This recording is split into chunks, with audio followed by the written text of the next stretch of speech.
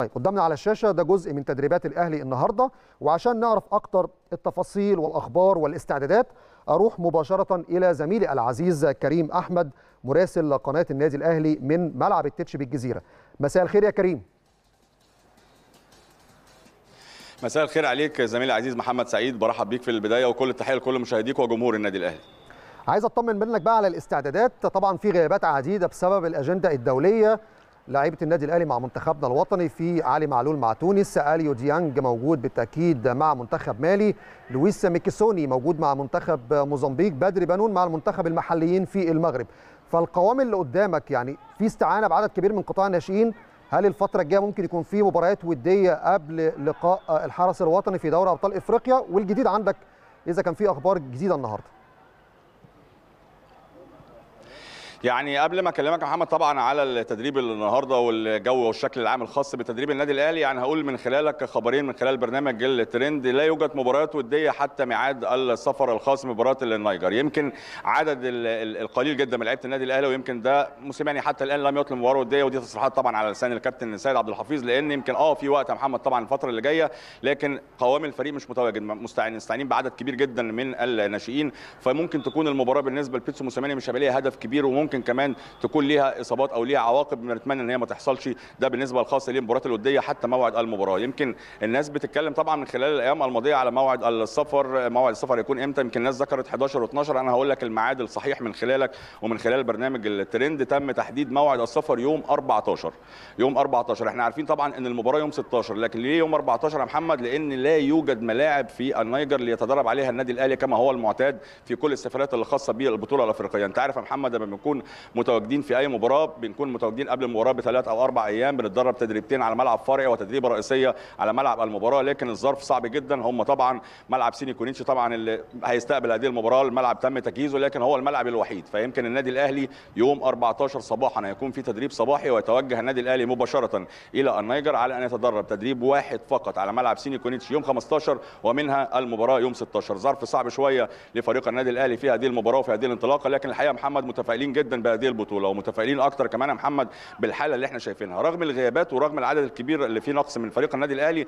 لكن أنا عايز اكد على الوافدين الجدد تحديدا. مرحلة مهمة جدا ينسجموا مع الفريق. تعليمات تكون واضحة. فكر بيتسو موسيماني أيضا كمان يكون واصل لهم بشكل كبير جدا والحقيقة الراجل شغال معاهم ومع كل اللاعبين. لكن ظهورهم مميز جدا الحقيقة. عمار حسام بيرسي تاو كمان اللي يعني منتظرينه بشكل كبير جدا. الراجل دخل في التدريج وشارك في التقسيمة في تدريب الأمس كان مميز جدا وكان رائع وواضح إن هو عنده واضح إن هو كمان بس ياخد ماتشات وينسجم بشكل كبير مع فريق النادي الأهلي. هنشوف طفرة مميزة جدا في أداء هذا اللاعب وكل طبعا نجوم فريق النادي الأهلي وكل اللاعبين المتواجدين. أكدنا على هذا الأمر محمد ميعاد المباراة وعدم وجود مباريات ودية حتى هذه اللحظة مع فريق النادي الأهلي. بشكل عام بقى تدريب النادي الأهلي فقراته متنوعة بشكل كبير جدا الحقيقة على مدار الثلاث أيام. يمكن أنا محمد بتابع على مدار الثلاث أيام الماضية في فقرات متنوعة. الراجل بيركز على التصويات بشكل كبير جدا التمركزات التحركات. ما بيتكلمش على التكتيك بشكل كبير على قد ما بينمي بعض المهارات وبعض الأمور اللي كان عندنا قصور فيها في مباراه بطوله الدوري العام والبطوله الافريقيه. جديه كبيره جدا وحماس كل تدريب بينتهي بتقسيمه في منتصف الملعب بيكون فيها أداء مميز جدا. وليد سليمان بيتألق عمار بيتألق رامي ربيع الكل الحقيقة واضح الأداء واضح الجدية. بنتمنى إن شاء الله بإذن الله الحماس والجدية ده محمد تكون معانا حتى موعد المباراة وحتى قبل السفر إن شاء الله بإذن الله. ويا رب إن شاء الله يكون مع فريق النادي الأهلي ويحافظ عليه وتكون انطلاقة جيدة جدا زي الموسم الماضي البطولة الأفريقية ويكون وش النيجر علينا حلو ونقدر إن شاء الله بإذن الله نحقق البطولة الثالثة على التوالي في إنجاز تاريخي إن شاء الله يحققه النادي الأهلي. هل بدأ يا كريم متابعة فريق الحرس الوطني في شرايط في سيديهات شافوها للفريق في لقاء لقاء التمهيدي السابق عندما كان بيواجه فريق من بوروندي وكان على فكرة على أعتاب الخروج يعني هو تأهل بصعوبة في تنزانيا لما كان بيلاعب بطل بوروندي طبعا. خارج بوروندي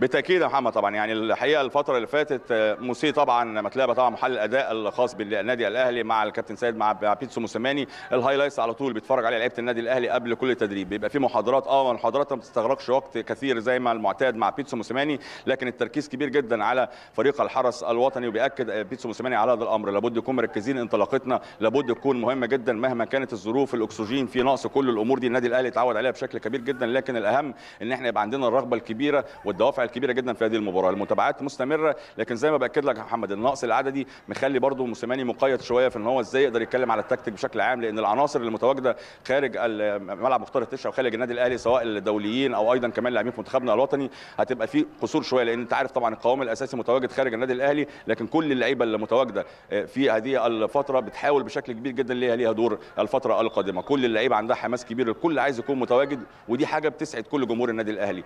النادي الأهلي هو النجم. مفيش أي لعيب هو النجم. النادي الأهلي هو النجم في أي حد يكون متواجد. إن شاء الله بإذن الله يحمل قميص النادي الأهلي ويقدر يحقق البطولة إن شاء الله في هذه السنة.